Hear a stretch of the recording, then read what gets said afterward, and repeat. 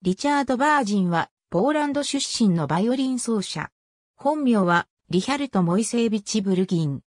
妻は、バイオリン奏者のルース・ポッセルトで、息子は、作家のリチャード・バージン。娘は、作家兼マサチューセッツ大学アマースト校ロシア語の教授であるダイアナ・ルイス・バージンで、彼女が出版した物語詩、リチャード・バーギン、エーライフ・イン・バースは、父の生涯について触れられている。シェドルツェの生まれ。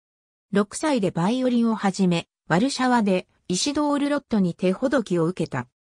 1903年には短期間ベルリンのヨーゼフ・ヨアヒムの指導を受け、1904年にはワルシャワフィルハーモニー管弦楽団の演奏会に独奏者として出演した。1908年にはペテルブルク音楽院でレオポルト・アウアーに指示し、1912年に卒業した。1914年にはワルシャワフィルハーモニー管弦楽団、翌年にはクリスチャニア音楽協会、1916年から1919年までストックホルム音楽協会のそれぞれのコンサートマスターを務めた。1920年にアメリカに渡ってボストン交響楽団のコンサートマスターとなった。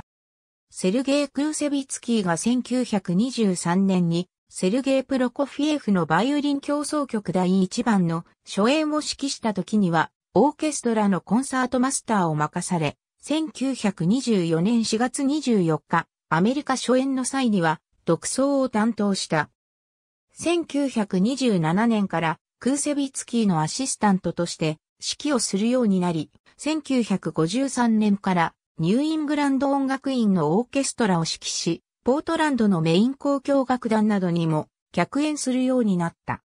ニューイングランド音楽院ではヘルベルト・ブロムシュテットを指導しており、ブロムシュテットはバージンについて素晴らしい音楽家でしたと回想している。1962年にボストン交響楽団のコンサートマスターを引退し、フロリダに移住。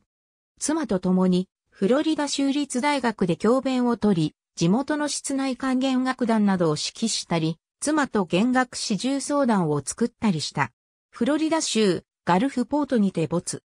リチャード・バーギン、エーライフ・イン・バース・バイ、ディアナ・ルイス・バーギン、フォーワード・ハット・ ABC・ ベーカーズ・バイアグラフ・クル、ディクショナリー・オブ・ミュージシャンズ、セブンス・エディション、Revised by Nicolas Slonimsky、New York、Schirmer Books、1984、P379、 Times Magazine ブロムシテッド、113から114ページ。ありがとうございます。